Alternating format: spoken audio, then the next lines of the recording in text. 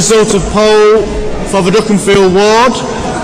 I, Steven Pleasant, being the returning officer for Dukinfield ward, do hereby give notice that the number of votes recorded for each candidate of the said election is as follows.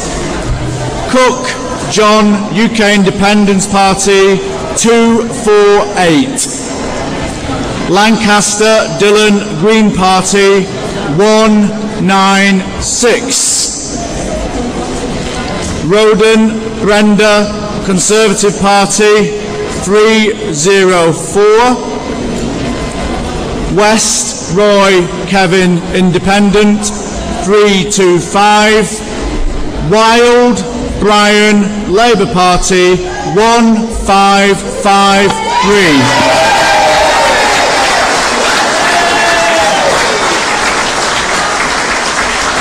You just take this.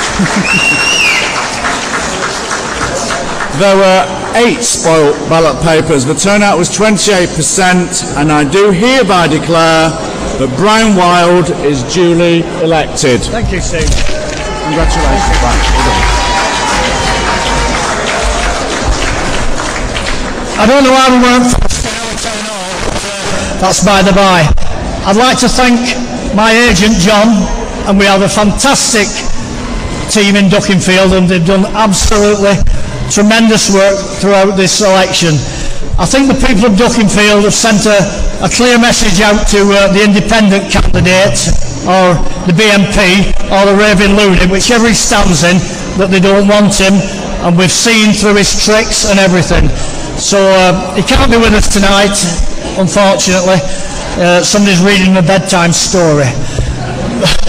But as, as ever, it's been my pleasure to represent the people of Dukinfield, and I'll carry on just as I have done. And uh, thank you, each and every one of you who's voted tonight. Thank you.